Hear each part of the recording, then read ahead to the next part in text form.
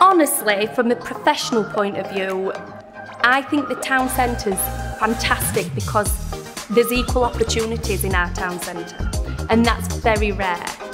It doesn't matter what your social status is or what side of the economic scale you're on, there is something for you to access.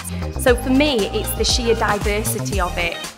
I see about 110 people a week in consultations and I can offer every single person something to do in Barnsley, regardless if they speak English, if they're in a wheelchair, um, if they currently have loads of friends or they don't know anybody.